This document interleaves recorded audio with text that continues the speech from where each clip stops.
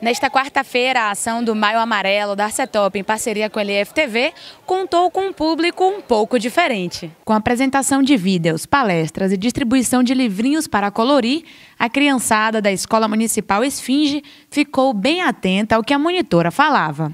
Na realidade, nós percebemos que a Secretaria de Educação, junto com a Secretaria de Trânsito, tem proporcionado aos estudantes essa vivência tem significado esse conteúdo.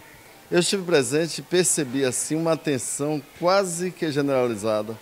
Todos os alunos estavam atentos e, na realidade, participando efetivamente da, da palestra dada.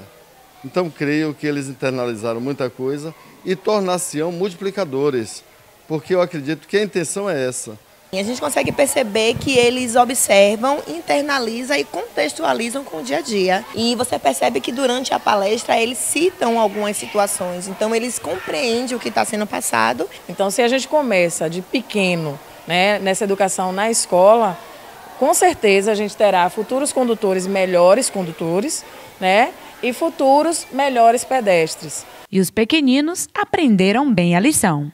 Atravessar na passarela, ter que usar o cinto de segurança, só pode ir no carro na frente com 10 anos. E o sinal vermelho significa o quê? Você, você, os carros têm que parar, aí, aí pode prosseguir andando. E quando a mamãe estiver com o celular dirigindo, é para falar o que para ela? Que é para se concentrar quando dirigir, porque senão pode parar senão ela pode bater o carro. A gente vê a importância de se educar também as crianças, de se educar os pedestres.